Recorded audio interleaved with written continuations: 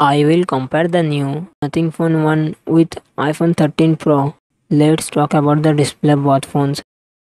Nothing Phone 1 has a 6.55 inch Full HD AMOLED LCD and success ratio 20 to 9 iPhone 13 Pro has a 6.1 inch Full HD XDR OLED LCD and success ratio 19 to 5 to 9. If both of us compare the camera of the phone, Nothing Phone 1 has a real set dual camera. The primary camera is 50 megapixel, its secondary sensor 12 megapixel, and its front camera is 32 megapixel. iPhone 13 Pro has a real quad camera. The primary camera is 12 megapixel, secondary sensor 12 megapixel, and third sensor 12 megapixel, and that fourth sensor TF 3D scanner, and its dual front camera 12 megapixel plus SL3 3D scanner. Talk about both phones processor and GPU. Nothing Phone 1 has a octa-core Qualcomm Snapdragon 7 generation processor and its Apple and GPU Adreno 642. iPhone 13 Pro has a hexa-core Apple A15 Bionic processor and its Apple graphics GPU. Talk about both phones. RAM internal storage. Nothing Phone 1 has a true and level 8GB RAM, 128GB internal storage, 12GB RAM, 256GB internal storage.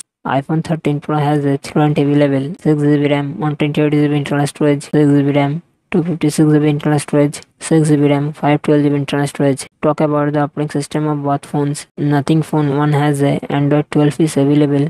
iPhone 13 Pro has a iOS 15 is available. After this talk about both phones battery. Nothing phone 1 has a 4500 mAh battery. You support a faster 45 watt iPhone 13 Pro has a 3095 mAh battery which support a fast 23 watt.